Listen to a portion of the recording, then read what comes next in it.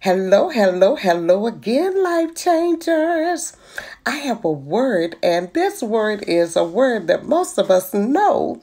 And if you don't know it, it's okay because it's a good word, anyways, because it's the word of God and it really, really defines what God the Father done for each one of us. All right, when He gave us His Son.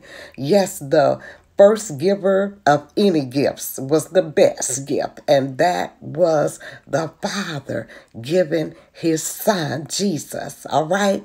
So he gave us his Son. So think it not strange about gifts because we are connected to the best giver of all gifts from the beginning through the Father with his Son to us.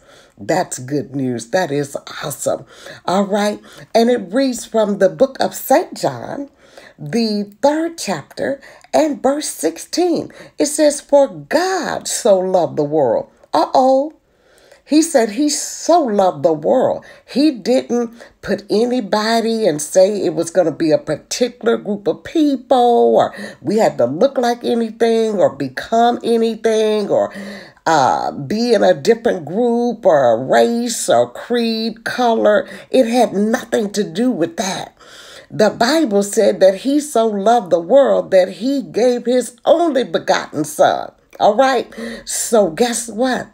Let no man deceive you that that that they are the only ones because it's not so. All right?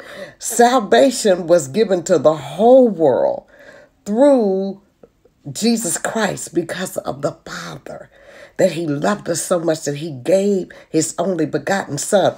But look at what it says. It says, it said that so whosoever, so whosoever means everybody. Everybody has the same opportunity, you know, to believe in him and should not perish, but have everlasting life. Wow, that's the good news. All right. That's the bottom line to our salvation. Yes, it is. That's what the Father did because He loves us so much. And you know, a lot of people, you know, it's amazing because over the years I found out that people, you know, they they get scared of God.